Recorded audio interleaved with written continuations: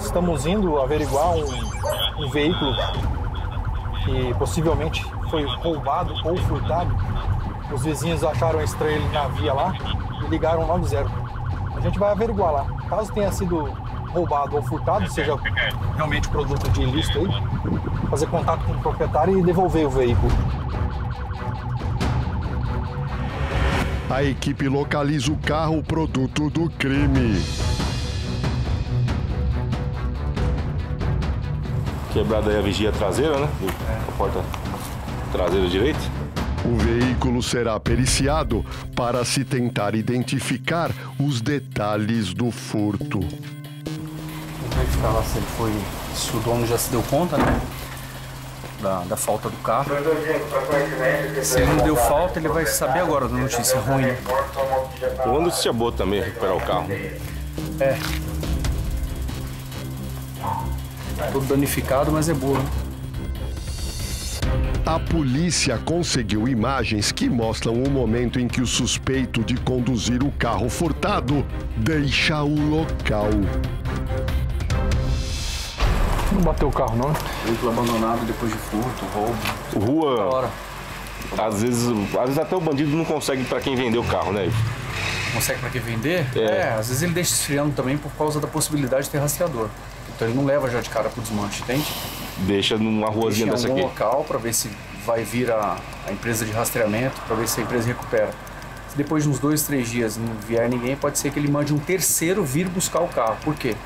Porque se esse terceiro for pego, né, provavelmente não vai ter reconhecimento com o indivíduo que furtou o carro no local, que eventualmente pode ter sido flagrado pelas câmeras, entendeu? Eles fazem muito isso daí, né? Ivo? É, provavelmente manda um menor vir, vir retirar o carro.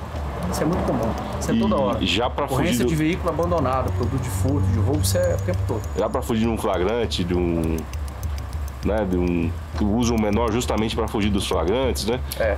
E essas ruas assim de bairro, né? Essas ruas calmas, ruas sem saídas, são. Sim, são ruas desvigiadas, né? Vítima. Então, foi na quinta-feira, por volta das 7h40 da manhã.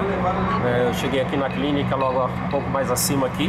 Né, e aí eu entrei com a minha esposa na, na clínica, fazendo fisioterapia. Quando eu, em 10, questão de 10 minutos, voltei no carro, aí eu já percebi que o carro não estava mais. E eu já verifiquei que eu vi o carro, inclusive saindo com o carro já direto, entendeu? Não teve nem tempo. O senhor, o senhor acreditou que fosse encontrar seu carro?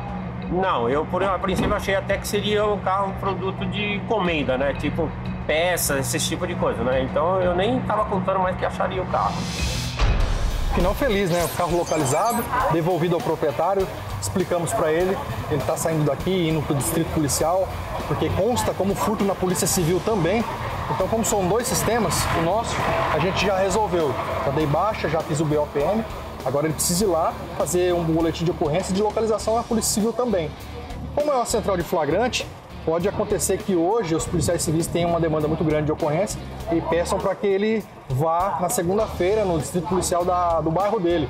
Mas é uma coisa que a Polícia Civil resolve lá. A gente acompanha ele até o distrito agora e eles dão baixa lá ou encaminham eles para segunda-feira lá. Mas da nossa parte aqui já está resolvido.